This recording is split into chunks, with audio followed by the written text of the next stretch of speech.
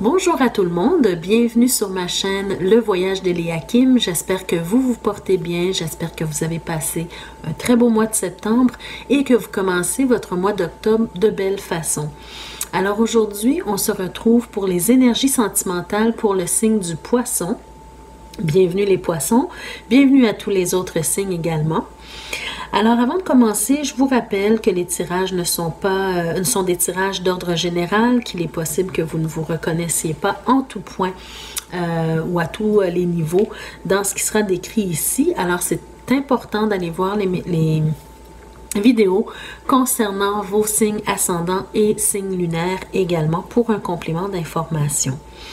Euh, ma petite clé de la destinée toujours présente pour vous rappeler aussi que c'est vous qui décidez ce que vous faites avec les messages reçus, que vous avez le plein pouvoir sur votre vie et que à n'importe quel moment de votre vie où vous sentez euh, avec ces messages que euh, ça ne vous plaît pas, vous avez le pouvoir de changer le courant des choses. D'accord? Il n'y a rien qui est coulé dans le béton. Alors, on va commencer tout de suite avec le tirage pour les poissons qui sont en couple. Par la suite, je poursuivrai avec le tirage pour les célibataires. Donc, pour vous les poissons en couple, alors un tirage très intéressant.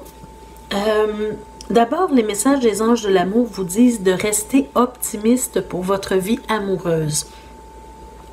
Ensuite, on vous dit laissez une chance à votre relation. Et la dernière carte, apprenez à vous connaître mutuellement. D'accord? Alors, on va essayer d'éclaircir un peu ces cartes-là. Donc, restez optimiste pour votre vie amoureuse. On vous dit la pensée positive et la foi vous, apporteront l'amour. Avec cette carte-là, euh, on voit ici que vous avez vécu des difficultés. D'accord? On a le 10 de bâton qui se présente. Beaucoup de difficultés, beaucoup de responsabilités. Euh, peut-être un petit peu de difficulté à avancer parce que vous sentez le poids des responsabilités euh, sur vos épaules ou bien des difficultés sur vos épaules. Mais on vous dit ici justement de rester optimiste parce que le 10, c'est la fin d'un cycle. Alors, on vous dit que vous terminez un cycle pour en commencer un nouveau.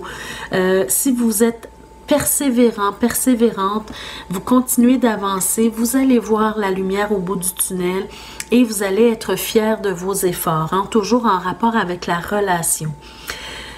Vous avez encore un 10 ici, mais cette fois-ci le 10 de Denis. Très belle carte. Hein. Ça vous dit ici, si vous persévérez, euh, si vous mettez les efforts nécessaires hein, dans cette relation-là, vous pourriez euh, vivre la totale, c'est-à-dire euh, vivre, euh, vous sentir comblé dans cette relation à tous les points de vue, au niveau du confort, du confort matériel, du confort émotionnel, de la... du confort aussi financier, hein, de ne manquer de rien, de l'amour partagé, du bonheur aussi. Alors, vous allez vous sentir comblé, mais il suffit ici de travailler sur votre relation. D'ailleurs, on le voit ici un, peu plus loin, de, mettre les efforts nécessaires pour que cette relation-là puisse euh, perdurer. D'accord?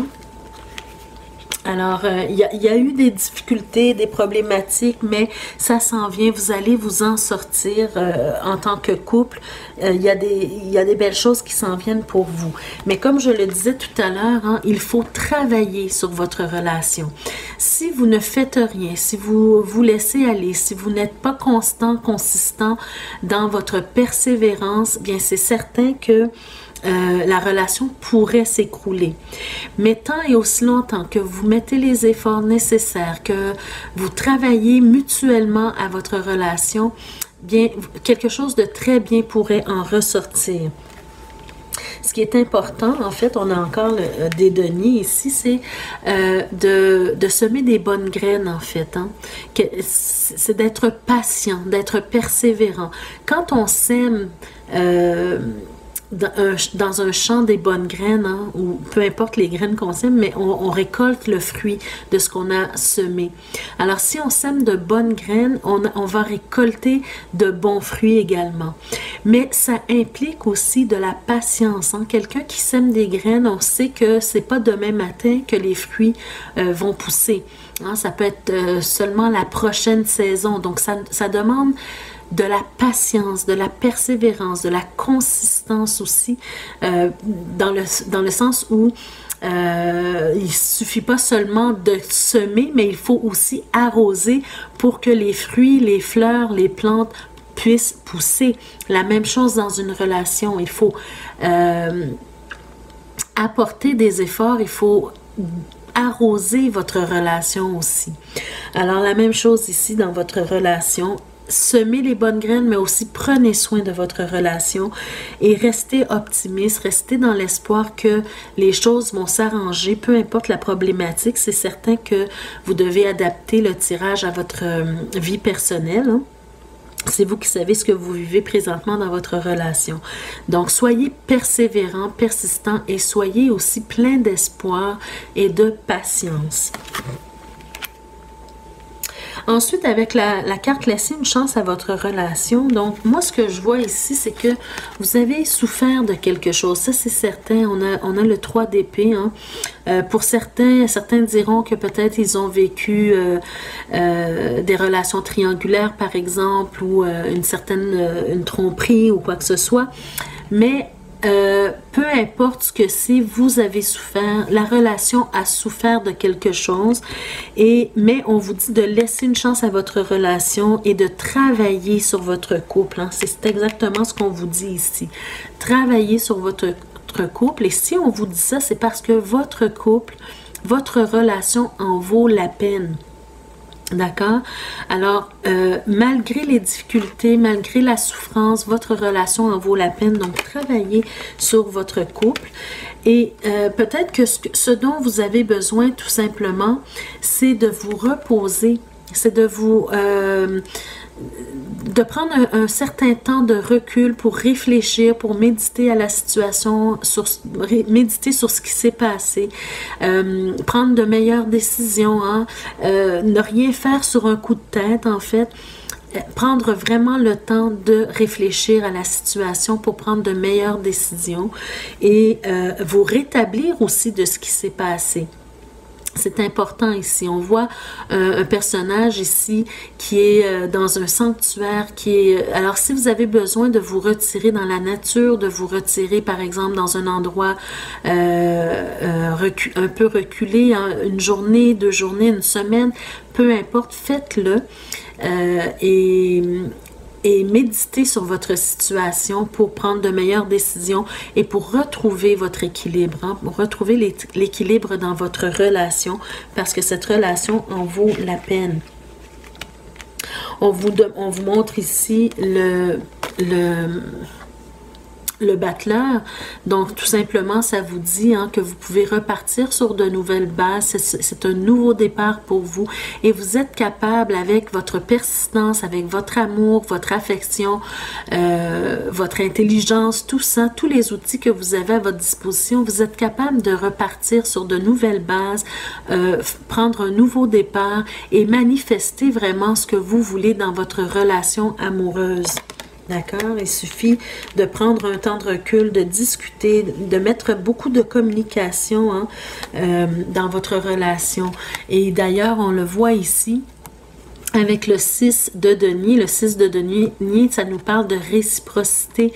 Alors, je viens de vous parler de la communication parce que c'est très important dans une relation d'écouter autant que de parler c'est important. Euh, d'apporter euh, autant d'efforts que l'autre va apporter dans votre relation si vous voulez que votre relation perdure. D'accord? Donc, c'est de, mettre autant d'efforts que l'autre euh, pour, pour faire en sorte que tout le monde se sente au même pied d'égalité c'est la notion du donner et du recevoir. Autant que vous recevez, vous êtes capable de donner aussi à cette relation. Donc, très important ici. Ensuite, on a la carte Apprenez à vous connaître mutuellement. Et moi, je vous dirais même, apprenez à vous connaître vous d'abord. Hein. Ce que vous aimez, ce que vous voulez, ce que vous, euh, ce que vous ne voulez plus euh, dans votre relation. Et ensuite, discuter avec votre partenaire. Ici, ce qui est intéressant dans ce, dans ce tirage, hein, c'est qu'on vous dit avec la carte du jugement que vous devez prendre, mes chers poissons en couple, vous devez prendre conscience de quelque chose ici. Euh, la carte du jugement, c'est une carte de renouveau aussi, autant que la carte euh, du battleur hein, qui nous parle de renouveau, de, de partir sur de nouvelles bases ou un nouveau départ. Mais ici, c'est la carte du jugement, c'est aussi euh, du renouveau, mais suite à une prise de conscience. D'accord? On vient vous demander ici de vous réveiller. C'est le temps pour vous de vous réveiller et de comprendre certaines choses, hein, de prendre conscience de certaines choses. Le 8 d'épée ici qui se présente, c'est quelqu'un qui bien souvent a du mal à, à voir sa vérité, sa propre vérité en face et à admettre que vous vous êtes mis vous-même dans une situation qui n'est pas intéressante pour vous. D'accord? Le 8 d'épée, je vous montre la carte parce qu'elle vaut la peine. C'est quelqu'un qui s'est lié euh, elle-même les mains, qui a mis un bandeau sur ses yeux et qui s'emprisonne dans un carcan mental qui ne lui convient pas. Les épées sont assez distancées. Alors, ça, suppose que vous êtes capable de vous libérer de cette situation, de vous libérer euh, de, votre, de vos idées si je peux dire ça ainsi. Euh, pardon. Alors, les épées sont assez écartées, donc vous êtes capable de vous faufiler et de vous libérer de, vos pensées, de ce que vous pensez dans votre tête. Et je vais m'expliquer un petit peu plus loin. Ce que je veux dire ici, c'est que ce qu'on voit, c'est que peut-être pour certains d'entre vous, les poissons qui, qui êtes en couple, hein, vous avez tendance, comme l'énergie du chevalier de bâton, à vous, à vous à fuir certaines situations. C'est-à-dire que le chevalier de bâton, ce n'est pas un personnage qui est stable, qui est, qui, c'est quelqu'un qui va et qui vient. Hein. C'est-à-dire que euh, dès que vous avez une relation, une nouvelle relation, et dès qu'il y a un problème, vous avez probablement tendance à fuir la, la relation, à fuir la situation. Vous ne voulez pas affronter la problématique, vous préférez partir. Alors, vous n'êtes pas quelqu'un, euh, pour certains d'entre vous, hein, ceux que ça concerne, qui est, reste, qui est stable dans une relation. Dès qu'il y a un problème, vous vous enfuyez. Alors que vous avez besoin de stabilité. On a l'empereur ici qui se présente. Vous avez besoin d'une stabilité. Peut-être vous êtes arrivé dans un moment de votre vie où justement c'est la stabilité qui vous manque dans votre vie.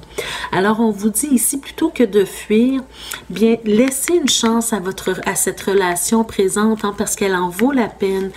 Et recherchez la stabilité et euh, changez votre comportement, le comportement de, de, de quelqu'un qui fuit la réalité, qui fuit les problèmes, qui fuit... Euh, euh, les, les, choses à surmonter en fait dans la, dans la relation. Ici, on vous dit votre relation vaut la peine malgré les difficultés, malgré les souffrances. Vous avez investi. Alors, ce qu'il faut faire, c'est de travailler ensemble, mutuellement, dans la même direction pour préserver cette, euh, cette relation D'accord?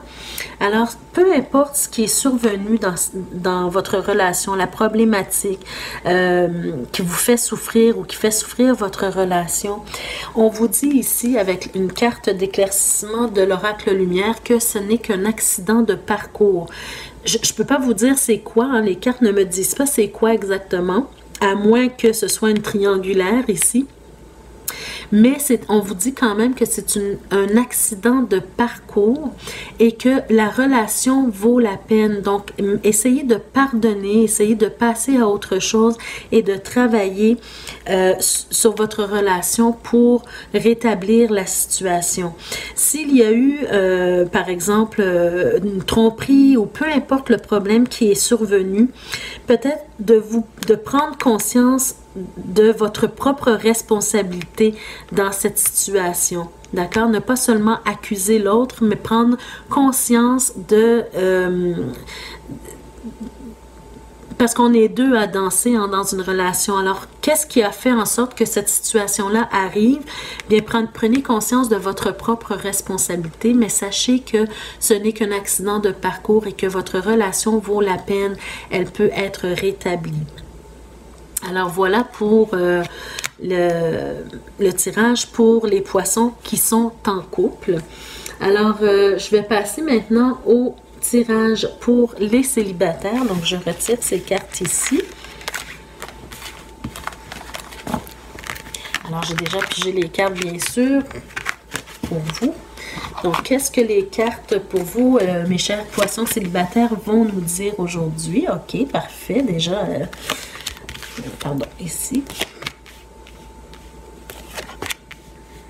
OK.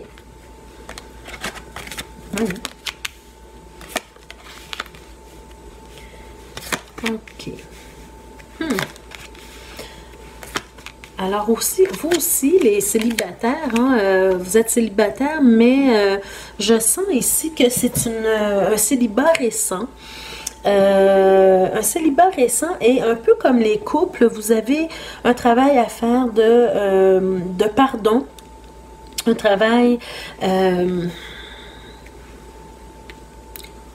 oui, on, nous parle ici de pardonner et apprendre. vous avez la carte aussi réconciliation et vous avez la carte amour véritable. Alors, euh, j'ai l'impression que c'est une rupture récente.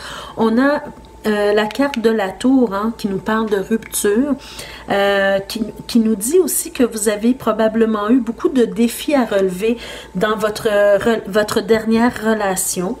Euh, pour ceux qui sont célibataires, qui viennent de, de quitter une relation, bien peut-être ce sera de vous remettre un peu en question ici parce qu'on nous parle de, pardon ici et d'apprendre de cette situation qui s'est passée. On vous dit en libérant le passé, vous vivez davantage d'amour au moment présent. Donc, c'est de pardonner, mais aussi d'acquérir une certaine sagesse, hein, d'utiliser ce qui s'est passé comme un apprentissage pour mieux faire à l'avenir. D'accord? On sent vraiment que la personne que vous avez quittée ou qui vous a quitté, peu importe qui a quitté l'autre, euh, veut vous reconquérir. On a le 7 d'épée ici. Alors ça, c'est la reconquête, entre autres. Alors, on sent vraiment que cette personne-là, elle aimerait revenir avec vous et, reconquérir votre cœur. Donc, euh, un peu comme les couples, hein, de laisser la chance peut-être à cette relation parce qu'on nous parle de réconciliation ici. une personne du passé revient dans votre vie. Alors, Peut-être que cette fois-ci, si la personne, si vous ouvrez votre cœur et si vous apprenez, si vous pardonnez à cette personne-là, la, meilleure stratégie à faire ici, c'est de vraiment de travailler de pair avec votre, votre conjoint, conjointe ou peu importe dans votre... Euh, votre partenaire de vie ici. D'accord? Donc, si vous décidez de vous réconcilier et de pardonner à cette personne-là, maintenant, ce qu'il y a à faire, c'est d'accepter de travailler de pair avec, avec cette personne, mais aussi de demander à l'autre de travailler avec vous sur la relation, d'accord? Parce que c'est un travail d'équipe, une relation. Ce n'est pas seulement une personne qui doit fournir les efforts, mais toutes les deux. D'accord? Donc, si vous décidez de pardonner et de vous réconcilier, n'acceptez pas cette fois-ci de travailler seul dans la relation parce que ça peut devenir frustrant. Ce qui est important, c'est justement de partir sur de nouvelles bases, vous également. Euh, le, fou qui se présente, hein, vous donnez, vous choisissez la direction dans laquelle vous voulez que votre relation vers quelle, dans quelle direction que vous voulez que votre relation aille maintenant dorénavant.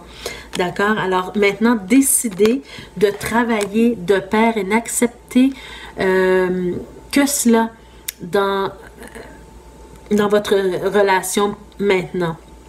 D'accord? N'acceptez pas d'être la seule personne à travailler sur votre relation.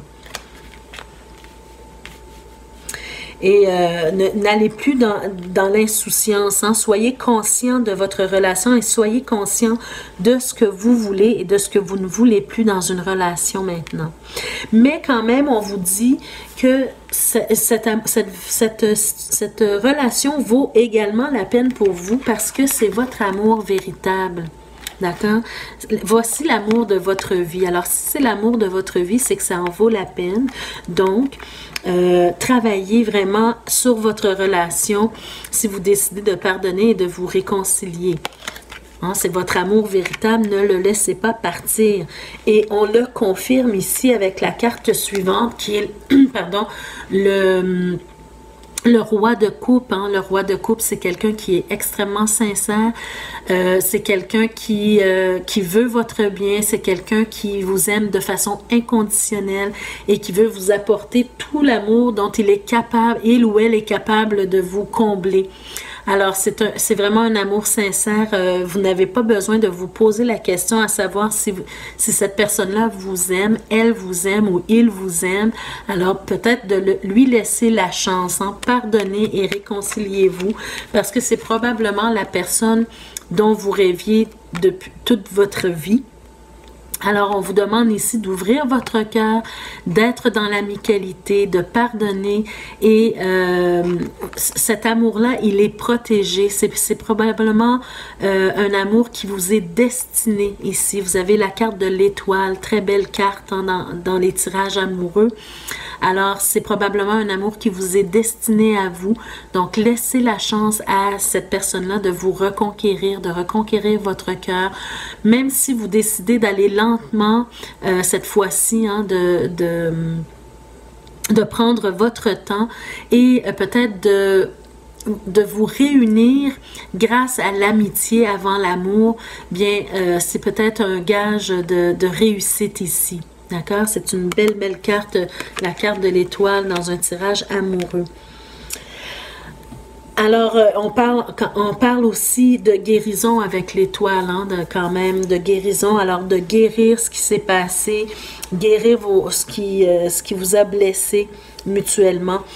parce que l'amour, il, est vrai, il est, il est véritable. Et d'ailleurs, la carte, euh, une des cartes de, de l'oracle lumière pour éclairer le tirage, c'est vraiment la carte amour. Et la carte amour, on voit un papillon sur la carte.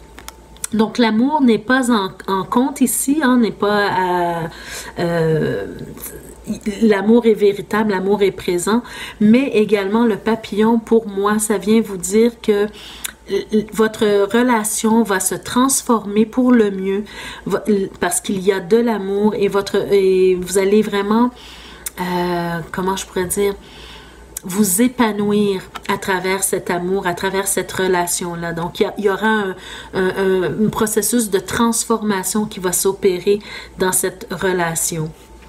Et euh, la personne qui veut vous reconquérir, justement, hein, va vous prouver que il ou elle veut vraiment passer euh, sa vie avec vous, hein, parce qu'il ou elle va réussir l'examen. C'est-à-dire que euh, il, ou elle va vous prouver réellement que son amour est sincère et que cette personne-là veut vraiment euh, avoir une belle relation avec vous. Alors, c'est un très, très, très beau tirage pour vous, mes chers euh, poissons célibataires. Vous êtes célibataire, mais pas pour longtemps. Et ça ne fait probablement pas longtemps que vous êtes célibataire pour certains d'entre vous. Alors, écoutez, ce tirage-là est magnifique pour moi. Donc, euh, la seule chose que vous avez à faire, c'est d'ouvrir votre cœur, de pardonner, de laisser l'autre essayer de vous reconquérir ou de reconquérir votre cœur et de travailler de pair et, et exiger aussi que l'autre personne travaille de pair avec vous. Voilà. Alors voilà, ça met fin à votre tirage, mes chers poissons. J'espère que ça vous a plu, j'espère que ça vous parle également. Et donc, euh, n'hésitez pas à liker la vidéo, ça fait toujours plaisir. N'hésitez pas à la partager, peut-être que d'autres personnes auraient besoin d'entendre ces messages-là. Alors, euh, soyez prudents. Aimez-vous d'abord, comme je le dis toujours. Euh, ceux et celles qui me découvrent aujourd'hui, n'hésitez pas à vous abonner à ma chaîne et à cliquer sur la cloche de notification pour être avisé chaque fois que je mets de nouvelles vidéos en ligne pour vous. Ceux et celles qui auraient besoin d'un tirage personnalisé, vous pouvez me rejoindre à la à l'adresse qui apparaît en barre d'infos. Ça me fera plaisir de vous envoyer la procédure ainsi que mes tarifs.